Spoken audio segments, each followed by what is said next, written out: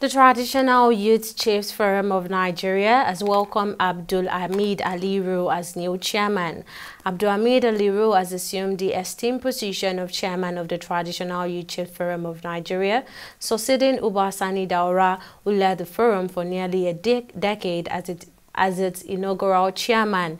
The inauguration ceremony held in Abuja saw an assembly of youth leaders representing various emirate councils across the nation witness Aliru's ascension to leadership. It is very important to be creative. Be creative, be positive. That's what we're going to bring to the table. You see, leadership at whatever level, at whatever capacity, cannot be achieved without creativity it's not just about the charisma or the character of the leaders. It, needs, it requires a lot of creativity.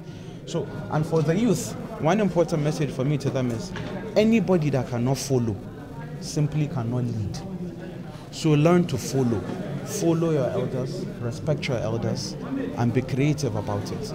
We are very close to youth.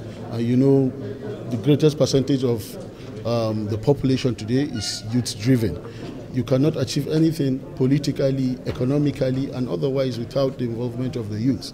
We, as traditional youth holders that represent our different domains, are here to chart a course for the government, to chart a course for the young people, so that at least we will forge ahead with one voice, speak with one voice, and make sure that we carry every other member of our emirates in the whole country together to forge ahead we know that there are Ministry of Youth Affairs. So we are going to channel our, our problems through our respective chiefs to, to the ministry so that the youths, there are a lot of youths across the nation, especially the girls, you know, so, and they are being abused. Okay. So we are going to make sure that we look into them in various communities and see to their problem and try to do our best in order to solve some of their problems.